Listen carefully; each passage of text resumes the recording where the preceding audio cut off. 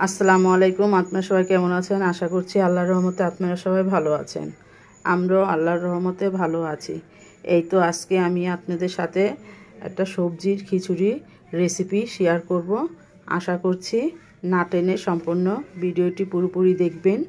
ঘরে যেই কোনো উপকরণ থাকে, তাই দিয়েই সবজি খিচুড়ি রান্না করা যায়। চাইলে আপনারা অন্য কোনো সবজি দিতে পারেন, গাজর দিতে পারেন সেই মটর দিতে পারেন। তাই আমি কলি, বটবটি, আলু আর কফি দিয়ে আর ডিম দিয়ে সবজিটা রান্না করেছি, খিচুড়িটা রান্না করেছি, সবজি, খিচুড়ি। আশা করছি আপনাদের কাছে ভালো লাগবে। ভালো লাগলে অবশ্যই একটা লাইক, কমেন্ট, শেয়ার করতে কিন্তু ভুলবেন না। আর চ্যানেলটার অবশ্যই একটা সাবস্ক্রাইব দিয়ে দিবেন। সুন্দর একটা রেসিপি আপনাদের সাথে শেয়ার করব। আমি সবজি, খিচুড়ি বানাবো, ডিম দিয়ে। সেই রেসিপিটা আমি আপনাদের সাথে শেয়ার করব। আশা করছি না টেনে সম্পূর্ণ ভিডিওটি পুরোপুরি দেখবেন। ফুলকপি, বটবটি, টমাটো, আর আমি পেঁয়াজ কলিটা রেখেছি, ওটা আমি ডিপে রেখেছি। যখন খিচুড়িটা রান্না করব, তখন বের করে দিয়ে দিব। আর এই জায়গায় ডিম, আমি আলুটা নিয়েছি, চারটা ডিম নিয়েছি, আর চারটা আলু টুকরো করে নিয়েছি। এই জায়গায় পেঁয়াজ লাগবে, পেঁয়াজ নিয়েছি।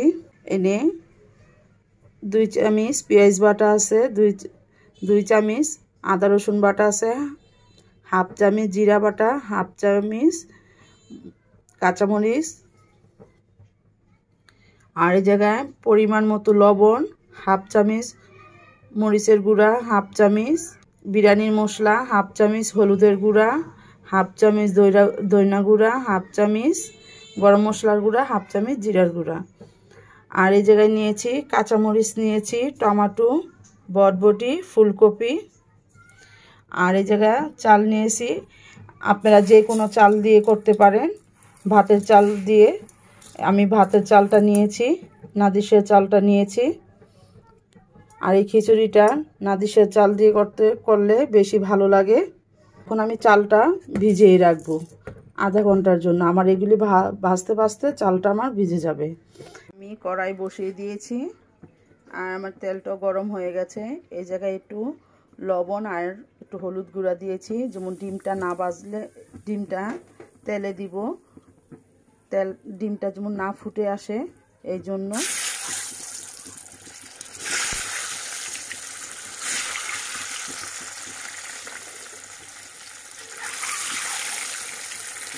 এখন সুন্দর করে একটু লাল লাল করে আমি ডিমটা ভেজে নিব।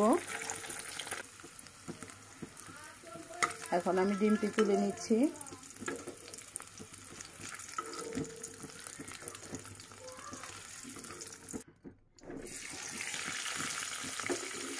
আলুগুলো এইভাবে লাল লাল করে আমি ভেজে নিব।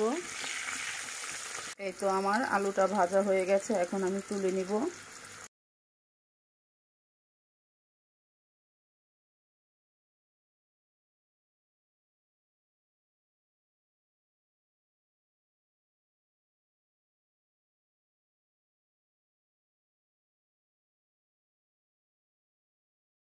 চিলি আমি লাল লাল করে ভেজে নিয়েছি। এখন আমি তুলে নিব। আমার ভাজা হয়ে গেছে, এখন আমি তুলে নিচ্ছি। তো আমি একটা ফ্রাই বোন বসিয়ে দিয়েছি, আর এখন পেঁয়াজ কুচি গিলি দিয়ে দিব। আমি এই জায়গায় দুইটা পেঁয়াজ কেটে নিয়েছি, কেননা আমি এই জায়গায় একটু পেঁয়াজ বাটা ব্যবহার করব। এই জায়গায় আমি এর জন্য দুইটা পেঁয়াজ কুচি করে দিয়ে দিয়েছি। এখন পেঁয়াজ দিলে একটু সিদ্ধ হওয়া পর্যন্ত আমি একটু ভেজে নিব। এখন আমি আদা রসুনের এটি দিয়ে দিব। আদা রসুনের পেস্টটা দিলে ভালো করে পেঁয়াজ আর আদা রসুন ভালো করে ভেজে নিব। যেমন পেঁয়াজের আদা রসুনের গন্ধটা চলে যায়। মশলাটা আমি ভালো করে কষিয়ে নিয়েছি। এখন আমি ভালো করে কষিয়ে নিব।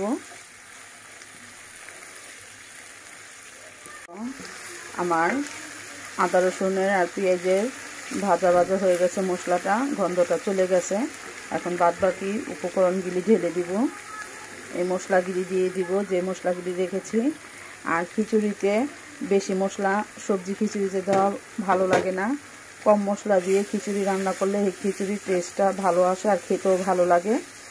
আর মশলাটা যত ভালো করে কষাবেন, খিচুড়ির টেস্টটা তত ভালো আসবে আর খেতেও ভালো লাগবে।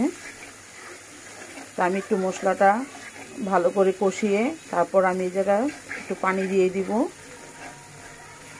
যেমন মশলাটা পুড়ে না যায়। অল্প পানি দিয়ে দিলাম। পানি দিয়ে এখন মশলাটা আমি ভালো করে কষিয়ে নিব।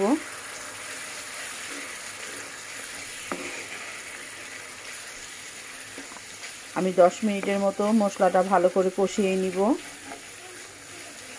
মশলাটা আমার কষানো হয়ে গেছে। আর এই জায়গায় আমি চারটা কাঁচামরিচ দিয়ে দিলাম। মশলাটা আমি পাঁচ মিনিট কষিয়ে নিয়েছি ভালো করে। আপনাদের প্লিজ বলে দেই যে মশলাটা যত ভালো করে কষাবেন, তত খাবারের টেস্টটা ভালো আসবে আর খেতে ভালো লাগবে। আর এখন আমি বটবটিগুলি দিয়ে দিচ্ছি। এখন ভালো করে কষিয়ে নিব।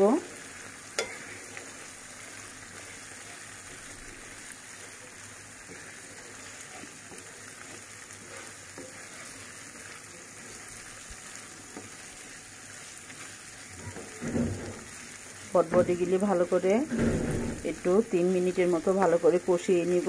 কষিয়ে তারপর আমি চালটা জায়গায় দিয়ে দিব।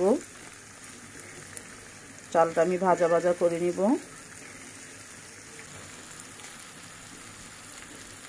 তো আমি চালটা ধুয়ে ঝোড়া দিয়ে রেখেছিলাম, এখন এই চালটা ঢেলে দিয়ে দিব।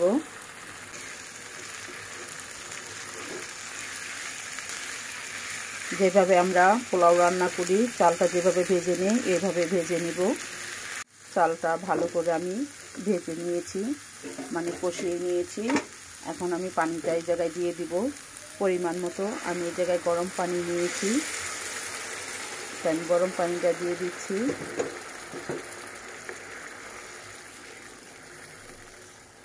আর এই জায়গায় আপনারা লবণটা চেক করে নেবেন। লবণটা লাগলে দিবেন, না হলে দিবেন না। যেহেতু আমি আলু, ফুলকপি, আমি একটু লবণ দিয়ে ভেজেছি, তাই আমি লবণটা একটু চেক করে পরে দিব। যদি লাগে তাহলে দিব, আর না লাগলে দিব না। তাই আমি পরিমাণ মতো এই জায়গায় পানিটা দিয়ে দিচ্ছি। দিয়ে এখন ভালো করে নেড়ে চেড়ে আমি ঢাকনাদা ঢেকে রেখে দেব। এখন আমি ঢাকনাদা ঢেকে রেখে দেবো। এই যে দেখুন, আমার বলক এসে গেছে। এখন আমি ঢাকনাদা ঢেকে দেব। আমার খিচুড়িটা হয়ে গেছে, পানি শুকিয়ে গেছে। এখন আমি ঢাকনাটা খুলে নিচ্ছি। খুলে এখন আমি এই তো টমাটো আর এই যে পেঁয়াজগুলি নামিয়ে রেখেছি আর কাঁচামরিচটা দিয়ে দিলাম।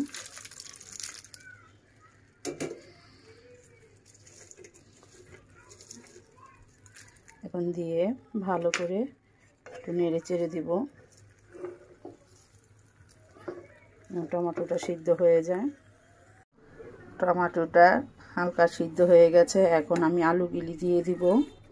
আলুগুলি দিয়ে ভালো করে একটু ঢাকনাটা ঢেকে রেখে দিব। আমি সুন্দর করে আলুগুলি চুরিনিতে বসিয়ে দিচ্ছি।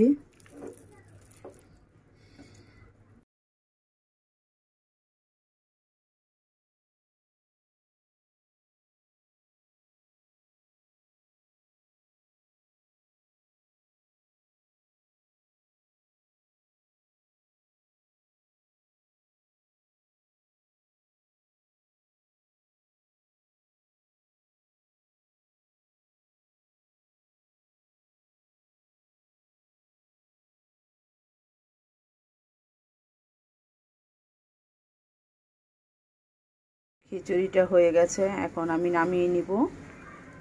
নামিয়ে আমি একটু উল্টে দিব। এখন আমি নামিয়ে নিচ্ছি। খিচুড়িটা উল্টেই দিয়েছি, আর কিছু ধনে পাতা দিয়ে একটু নেড়ে চেড়ে দিয়েছি। আমার খিচুড়িটা হয়ে গেছে, এখন আমি নামিয়ে নিব। আপনারা বাসায় এটা অবশ্যই তৈরি করে খাবেন।